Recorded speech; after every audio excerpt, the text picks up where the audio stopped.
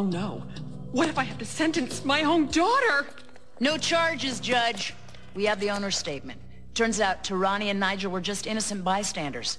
Good Samaritans, actually. They tried to help. Oh. Ah. Uh, I've made a horrible mistake. All I ever wanted was to protect you, keep you safe. But I'm very sorry, really. Nigel, you too. Kiss my ass, you little